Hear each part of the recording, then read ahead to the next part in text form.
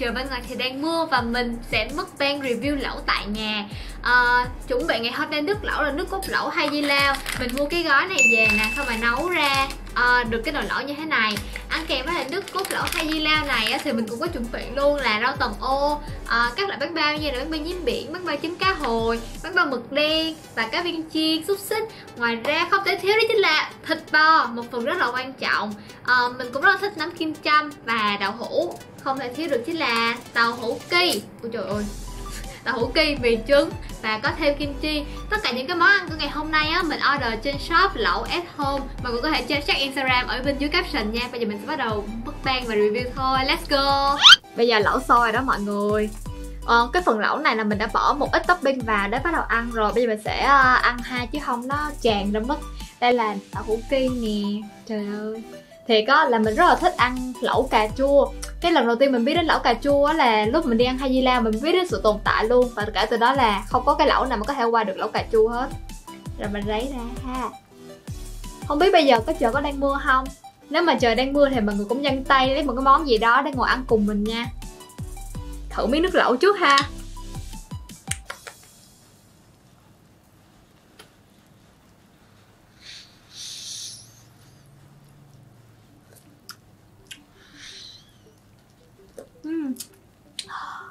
đã quá y mà từ nãy giờ á. Là cái trong lai mình chưa có nhúng bò mình ăn thử miếng nấm kim châm đầu tiên rồi bắt đầu nhúng bò ăn chung ha.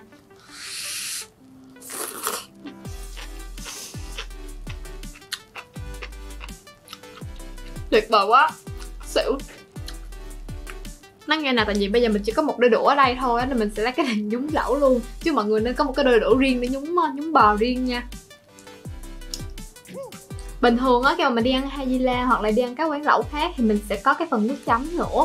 Hình như là shop không có cái này, hình như là mình quên mua hay sao mình quên mua cái phần nước chấm để ăn chung với lẩu. Nhưng mà cái set này á, sẽ là 219 ngàn, gồm có nước lẩu và topping mùi vị. Còn cái này là mình mua thêm á, là một trăm rưỡi nữa. Tính ra nguyên cái nồi cái nồi lẩu này á, bốn năm người ăn cũng non đê á, không mắc lắm. Tại nhà trong mùa dịch này là an toàn nhất. Đừng đi đâu mọi người. Đã chưa?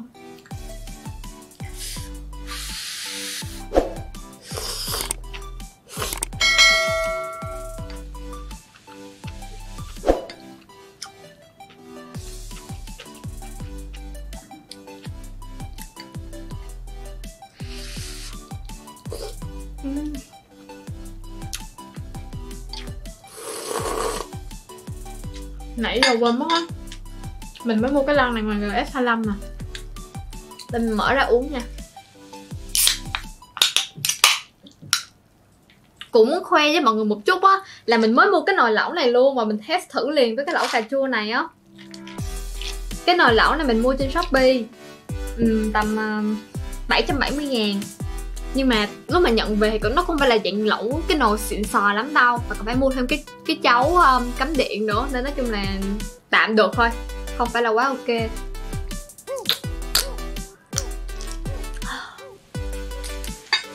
Ngon á cái nước nước đào này ngon.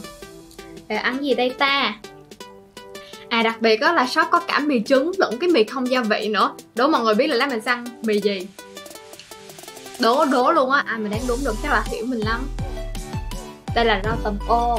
Khi mà ăn lẩu á, thì cũng có thể kết hợp với lại rau cải thảo nữa. Nhưng mà mình nghĩ là lẩu thì hợp với tầm ô hơn. U da má ơi nó bắn.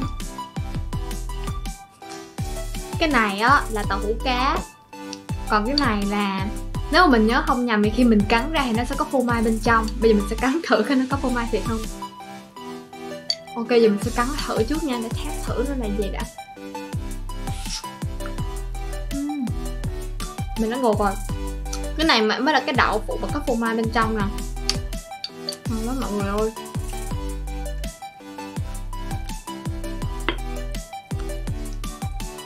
Để nhúng thêm mấy miếng thịt nữa.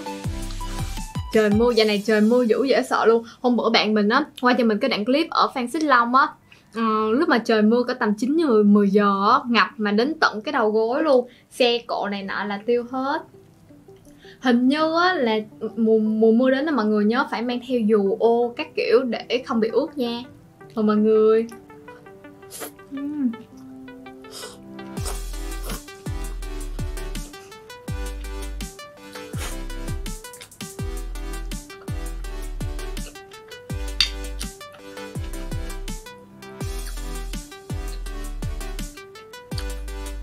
Sẵn tiện á, trời đang mưa nên mình cũng muốn tâm sự với mọi người lúc mình ăn lẩu luôn. Mình có một cái thắc mắc, rất là thắc mắc.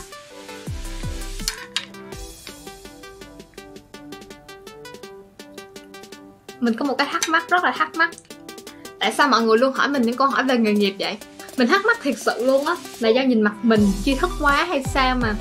Thiệt luôn, mỗi lần mở app là mọi người đều hỏi mình những câu hỏi về chi thức á. Nhưng mà no. Hỏi mình về đồ ăn nè về chuyên ngành của mình nè như là marketing. Chưa bao giờ inbox chị ơi học đại học sư, sư phạm kỹ thuật thể thao học trường nào? Trời đất ơi chắc xỉu luôn á.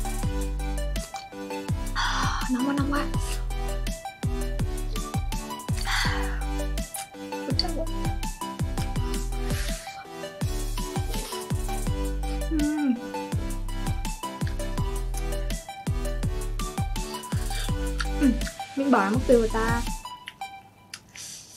Tơi tái tơi tái. Bò thì bình thường mình nhúng có tầm 2 phút là ok. Đừng để đừng có để lâu á bên trong lẩu nha mọi người nó sẽ bị gì dai lại không có ngon á. Quên mất là từ nãy giờ quên ăn thử cái miếng không mấy cái miếng bánh bao nhím biển bánh bao cá hồi. Ở đây shop này có 5 loại màu màu vàng màu cam màu tím màu xanh lá với màu đen. Nhưng mà theo kinh nghiệm mình ăn lẩu ở nhiều nơi á thì mọi người hãy nên chọn màu vàng và màu cam thôi. Màu màu đen á làm làm mình nhớ màu đen là bánh ba mực đen. Nhưng mà bên trong là sẽ có màu đen luôn và nó sẽ hơi đắng đắng á. Lát mình sẽ ăn thử cho mọi người xem. Còn cái màu tím với màu xanh nãy gì thì mình quên mất tiêu rồi. Nhưng mà theo trí nhớ của mình thì nó vẫn không ngon bằng màu, màu, màu vàng với màu cam.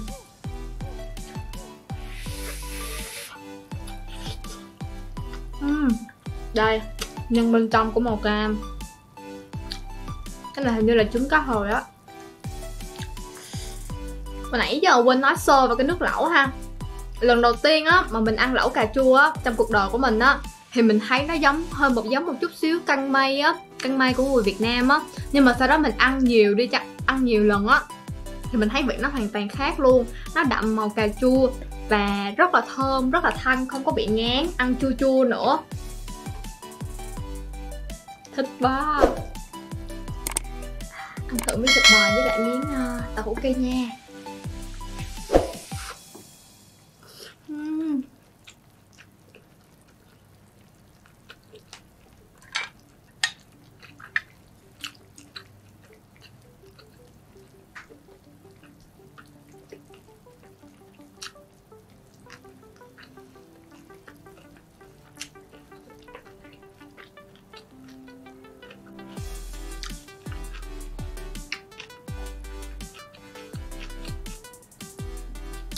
Nóng quá nóng quá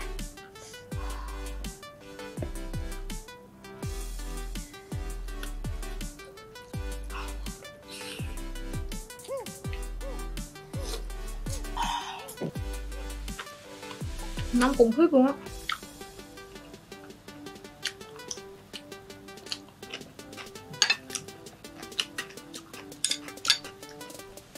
Mọi người à, bây giờ mình sẽ nấu mì ha. Đương nhiên mình sẽ chọn mì gói thôi mình cảm thấy là tức quá.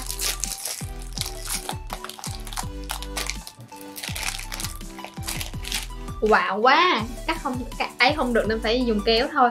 À, cái này là mì của shop luôn. Mì gói không gia vị chuyên để ăn chung với các loại lẩu hàn quốc rồi lẩu tteokbokki cái kiểu đồ.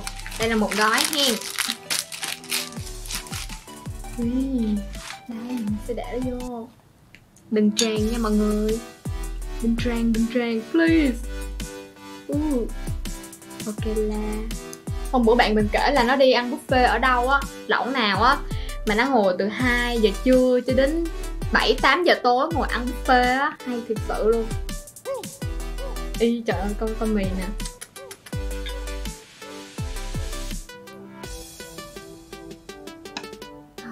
Kiếm miếng thịt nữa là đủ ha.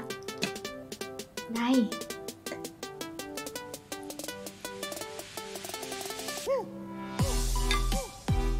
Mọi người cũng hay hỏi mình là tại vì á, mình bày đồ ăn rất là nhiều nhưng mình ăn không có hết thì mình sẽ làm gì với số ăn còn, số thức ăn còn lại. Thì mọi người cứ yên tâm nha, là mình ăn xong rồi, vẫn còn rất là nhiều đồng bọn đang đứng xung quanh mình, đang cầm điện thoại để quay story giùm mình á. Những đồng bọn đó sẽ giúp mình thanh sáng, lúc nào cũng ăn hết hết. Mì thôi. Hoàng nhập. Xí.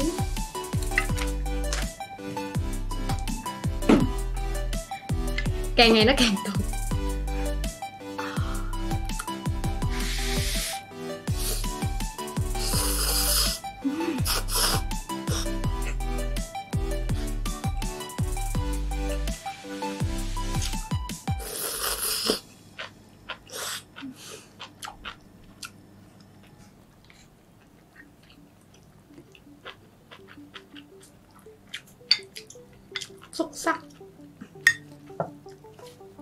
Để coi mình từ nãy mình khen không á mình phải suy nghĩ coi có điểm nào mình đã chê không. Ừm. thiệt sự là mình chưa nghĩ ra. Nếu mà mình nghĩ ra mình sẽ bổ sung trong caption. Tại vì á đồ ăn được ship tới đựng trong bịch rất là gọn gàng sạch sẽ không có tèm lem. Bây giờ mình sẽ nhúng bò. Lần cuối cùng ăn chung với một muỗng rồi mình đóng máy lại ha. Giờ này trời mưa mọi người ra đường nhớ cẩn thận nha. Nhớ cẩn thận nhìn trước nhìn sau á đường đi cũng nguy hiểm nữa.